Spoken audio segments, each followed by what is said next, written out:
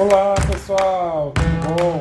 Gente, ó, tô com essa cadelinha. Quem deu banho nela foi a Dani. Dá um oi aí, amor. Oi pessoal, tudo bom? Dani fez um banho nela. Aí me chamou aqui para eu prender o rostinho dela. Já terminou tudo, ó, ela tá toda desembaraçada. A gente preservou o pelo do rostinho dela porque a Emily ela ainda serve de modelo para lacinho, para essas coisas. Então, o pelo do, do rostinho dela está preservado e o pelo da cauda também. A Dani já fez, é, já prendeu a cauda. Ó, vou mostrar para vocês como é que a gente faz. Ó.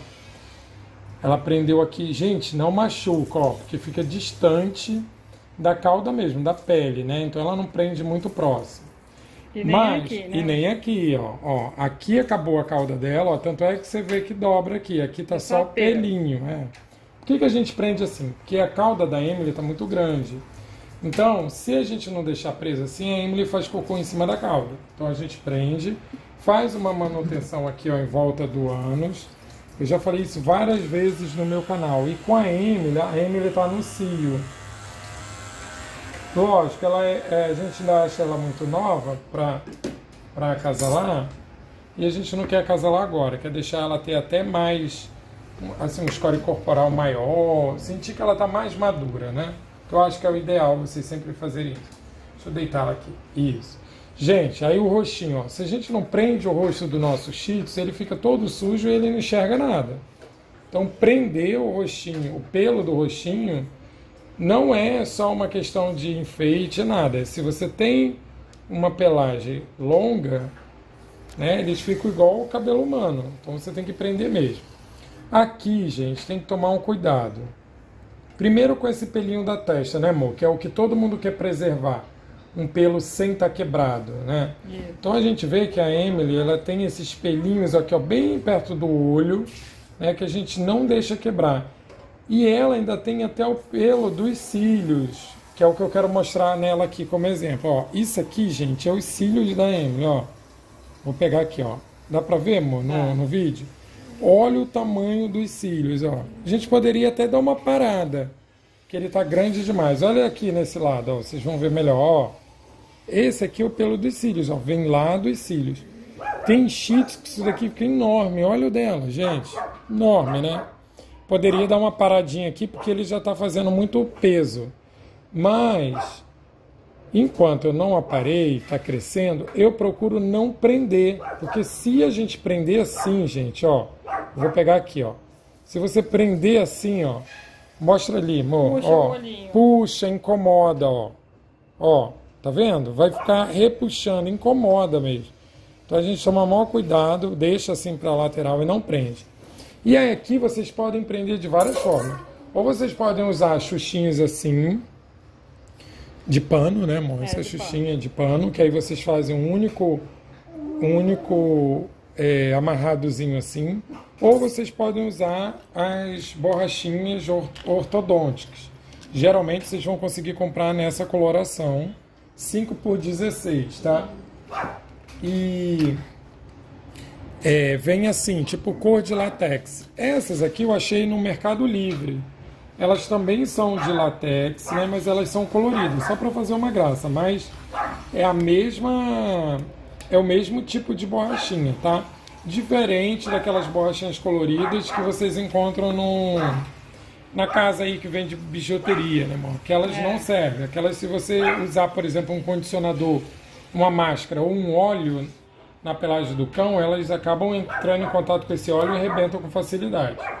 Então, a dica legal aqui é dividir, que é para você dividir a tração, para você não amarrar esse pelo todo.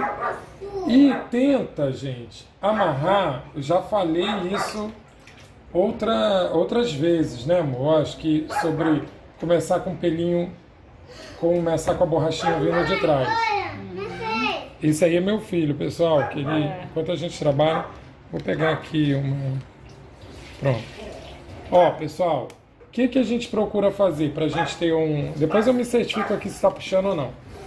Eu venho com a mão por trás da onde eu vou marcar, ó. Vou esperar a Emily olhar para lá. Isso. E eu venho com a mão aqui por trás, ó, ó. aí depois começa a amarrar. Vou explicar isso para vocês melhor. Ó, pronto. Quando eu venho com a mão por trás, olha como o pelo ele já fica jogado para trás, ó. Tá vendo? Ele fica para trás assim, aí eu venho, faço mais outro amarrado aqui, pegando por trás. Eu vou fazer o oposto, tá? Tem muita gente chegando no canal e tá me perguntando isso. Léo, me ensina como amarrar. É normal vocês não saberem, porque eu não sabia nada. E inclusive eu pedi ajuda a Dani, até para fazer. Às vezes eu ainda me perco, pessoal. Confesso que para colocar laço, às vezes eu termino de colocar o laço, o laço está de cabeça para baixo, eu chamo a Dani para me explicar, porque às vezes dá um branco mesmo. Mas o que eu quero dizer é o seguinte: se eu conseguir, que eu não tinha habilidade nenhuma, nunca trabalhei com cães, vocês vão conseguir também. Vamos lá. Lembra que da, da outra vez eu vim por trás, né? Eu fiz assim, ó. Dessa vez eu vou fazer pela frente, que é como eu acho que vocês estão fazendo. Vê se dá para mostrar, amor. Qualquer coisa você vem desse lado aqui. Dá, dá pra ver. Ó, se eu for pela frente, ó, vou fazer a mesma coisa, só que pela frente, ó. Pela frente. Gente, olha a diferença. É.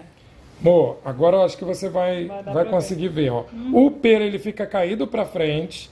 Ele tá distante lá, ó, daqui da raiz. Ele não tá encostadinho como esse. Peraí, deixa eu tirar. Ó, esse aqui ele tá mais encostadinho da raiz, né? Você pode até folgar um pouco assim. Esse ele tá distante. Só E também tá caindo pra frente, né? isso. Aí o que, que vai acontecer? Ah, Léo, mas eu amarro um sempre por trás. Gente, a gente está falando técnicas bobinhas, mas que na hora faz toda a diferença. Eu vou amarrar outro por trás. Olha o que, que vai acontecer. Mo, tenta mostrar agora bem aqui o que eu quero mostrar. Ó. Quando eu jogo assim, ó, ele faz uma curvatura aqui, ó, ó. Tá vendo essa curvatura, ó? Que aqui e ele repuxa mais o pelo aqui, ó. Ele faz uma tração aqui. E aí ele quebra esses fiozinhos, entendeu? Nesse aqui não, ó. Se eu for amarrar aqui, vou botar uma borrachinha aqui, porque esse aqui eu amarrei corretamente, né? Nesse aqui, quando eu for, vou pegar lá uma borrachinha. Tá dando para entender aí, amor? Tá. O que eu tô querendo dizer? Eu espero que vocês em casa consigam também, que eu tô tentando ajudar vocês. Aí, ó, vou amarrar da maneira certa, ó. Venho por trás, pegando aqui, ó. Gente, ó, não tem tração nenhuma aqui, porque ele já estava de lado. Só vou dar duas voltas, tá? Pronto. Esse pelo aqui não tá puxando muito. Quando você termina, você consegue ainda correr um pouquinho assim. Nesse aqui, do jeito que eu amarrei, quando eu faço assim para jogar ele, ele puxa muito, ele cria uma tensão muito grande aqui. Então ele rebenta mais aqui. Tá, então acho que Pra vocês já entenderam. E Agora- na hora de tirar é sempre com a tesoura. com a tá? tesoura, a gente dá um corte mesmo. Hoje em dia existe equipamentos para cortar. Então agora vou fazer da maneira correta para vocês verem a diferença. Tá tá? gostando desse vídeo? Aproveita e já dá um joinha. Já dá um joinha Pra porque não esquecer, senão eu acabo esquecendo de dar o joinha. isso, porque aqui é uma coisa boba, mas que ajuda bastante. Tem outra coisa que vocês podem fazer para ajudar. A gente não fez esse aqui puxando para trás e amarrando assim, Dani, ó. Uhum. A gente fez assim, esse aqui da parte da esquerda dela, né? Outra coisa que vocês podem fazer é dar uma jogadinha pro lado assim, pessoal, ó, tá? Se você jogar pro lado, eu já falei isso algumas vezes, e amarrar com a borracha vindo de trás, ó, pronto. Tá um pouquinho pro lado, tá vendo, amor? Dá, tá, dá pra ver. Então, a tensão fica maior aqui, ó, tá? E aí, o que que acontece?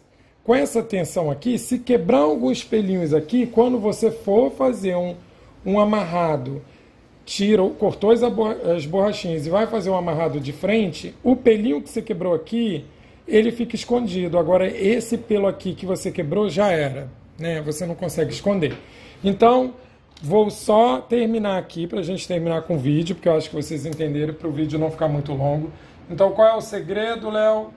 que você quer passar aí nesse vídeo é começar amarrando, ó, com, abre a borrachinha e começa, deita o pelo em cima da, já da borracha e começa amarrando por trás, ó. Quando você amarra por trás, Deixa eu tirar aqui. Que, gente, eu tô para gravar. Ó, o pelo já fica caído para lá, ó. Olha como, como o pelo, ainda mais essa aqui, ó, vou baixar a cabeça dela, ó, já fica caído para lá. E aí você pode certificar puxando um pouco e fazendo assim, ó, para ver que não está na pele. E outra maneira de certificar que não está na pele é passando um pentezinho por baixo. Passou o pente por baixo, então significa que não vai ferir a pele do seu animal. Não está é, é, tracionando muito para causar alguma isquemia, alguma atração e o animal coçar, esfregar a cabeça, tá bom? Dê um joinha aí se você gostou da dica e não sai daí se você não for inscrito no canal. Se inscreve antes de sair, tá bom? Se inscreva no canal. Beijo, pessoal. Beijo, tchau. Tchau.